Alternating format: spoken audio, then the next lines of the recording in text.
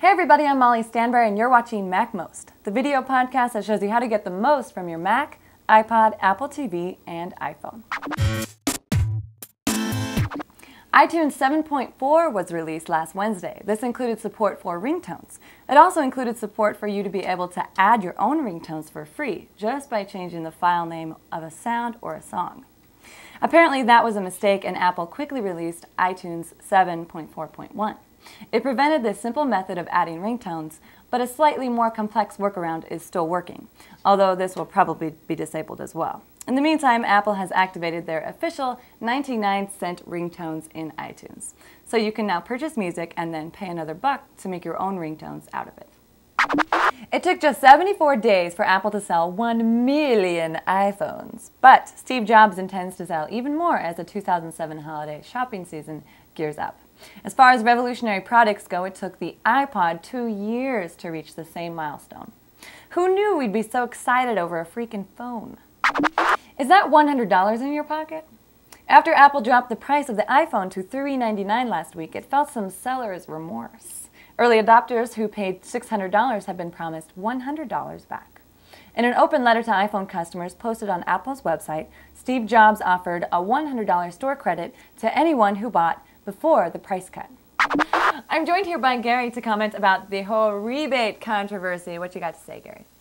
Well, two months ago, we all stood in line and bought our iPhones. We did at that. We paid $600 for these things. We knew that was overpriced. But yet, two months later, really early, Apple dropped the price by $200, a third of the total price. We're outraged. And everybody is outraged. All the early adopters who spent 600 bucks are outraged that people can now get it for 400 bucks. Mm-hmm. And to all those people, I have to say, get over it, okay? We knew what we were getting into when we bought this thing, when we stood in line. I mean, you're the same people that waited in line for a Star Wars movie all day, paying 10 bucks to go see it, and then you knew it was going to be at the Dollar Theater a couple months later for a buck, and nobody was going to be in line for it then. You know, back in my day, early adopters were a lot hardier. In 1983, we bought $10,000 Apple Lisa computers. And then a year later, they came up with the Mac for 2500 bucks, and nobody complained then. So take it like a man. Get your $100 coupon and suck it up. Yeah. There, there you have it, folks. Suck it up, right? Right. Suck it up. Spotlight is the powerful search engine that's included with Mac OS X Tiger, which searches for files on your Mac. One easy way to access Spotlight is to click on the magnifying glass icon in the upper right-hand corner of Finder. Another clickless way to access it is to press Command Space. If you have a tip that you'd like to share or a question you would like us to answer, email us at questions at macmost.com. In our podcast salad segment, Katie Bavard brings us a must-watch video podcast. Hi, this is Katie. This week I bring you Play Value. Play Value is a show from On Networks that is your guide to gaming history. They retell stories that spawned today's multi billion dollar gaming industry. If you've got warm fuzzies for Atari or the original NES, this will be a fond walk down memory lane. Nintendo and Atari. You would think these two video game pioneers would be the best of friends, but you really should not invite them to the same dinner party. Atari was synonymous with video games for a long time, the way Nintendo is now. And uh, they fell off their throne, they made some miscalculations, they made some bad decisions, and uh, they weren't the number one guy anymore. But Nintendo took on Atari's role, and Nintendo's success just like fueled the fires again. And gave Atari this last glimmer of hope that they could be back on top of the industry. If you use dashboard widgets, then you know how handy they can be.